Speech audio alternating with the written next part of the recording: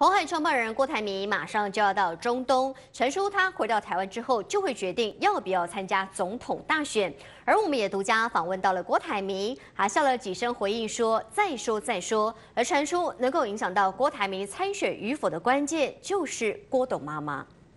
郭董今天会特别来这间店吗？啊，你你你你给人家举办，你拜拜拜你你你。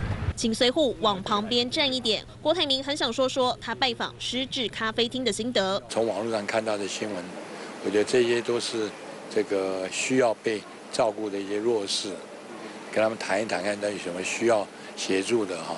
侃侃而谈设服议题，但听到选举问题，出国回来就会决定要不要参选。再说再说再说，谢谢你们，谢谢谢谢谢谢谢谢谢谢谢。虽然郭台铭很低调，但东森新闻连两天直击幕僚进出他家开会，显然已经进入备战状态。蔡清瑜和郭心怡主要负责对外发言以及联系工作。曾是台北市府幕僚的李静颖和国民党前中常委林嘉欣则加入永林青年平台，了解青年想法，其实也是搜。收集舆情，而红海集团的大数据主任高鸿安把专长用在民调分析。郭台铭的团队兵强马壮，但要打仗吗？主将还有些犹豫。传出关键在郭妈妈出永贞是忠贞国民党员，不想看到蓝营分裂。来看母亲吗？